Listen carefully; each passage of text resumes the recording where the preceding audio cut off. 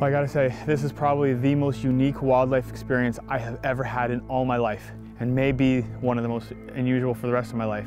We've just been walking out after calling moose all morning, and we walk up and on the ground is this mature bald eagle. Just an absolutely gorgeous specimen, but clearly in distress. A mature bald eagle should never, never be on the ground like this letting us get so close. We tried to walk up to it thinking maybe it had its foot caught in some wire or something like that.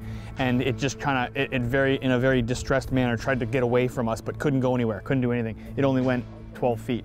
And then now it's just sitting there with us hovering all around it. Wings spread trying to intimidate us, but it's clearly in some bad, bad, bad shape. So we're trying to, Justin's over there trying to call the ministry right now to try to get authorization to dispatch it and put it out of its misery. You never like to see a majestic animal like go like that, but, uh, but this thing needs to be put out of its misery. What an experience. What an animal. The bald eagle can be found from the Mexican border through the United States and into Canada. This large raptor is a skilled hunter with its incredibly sharp talons, 7 foot wingspan, and pin sharp eyesight.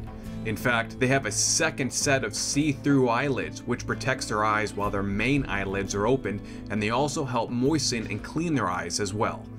Though their appearances look similar between male and female eagles, Females are typically 25% larger than males, and pairs usually mate for life.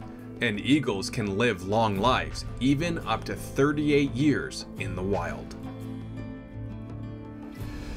Well, Justin's been trying every single number he could find, trying to get someone on the phone, but being a Saturday, no one seems to be picking up. And so we can't get any authorization to do anything with this. And we're afraid of spending the rest of our lives in jail for tampering with them.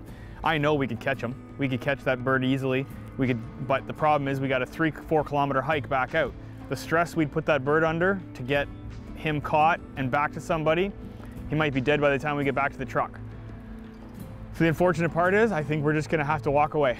And this is where sometimes the laws are not fair to us or to the animals, but I'm not willing to risk my family and my livelihood for it either. So we're gonna have to just leave this bird alone Maybe we'll get somebody through the rest of the day as the day goes on and we can bring them back in because clearly he's not going anywhere. So maybe we'll get lucky, but uh, unfortunately we have to make the tough choice right now and that is we gotta walk away.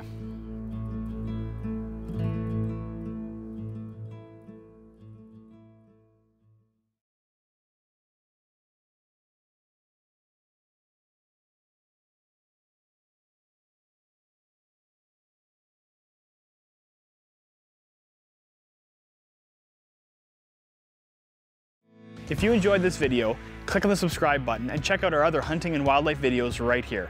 Thanks for watching and remember, enjoy the greatness of Canada and be proud of our hunting heritage.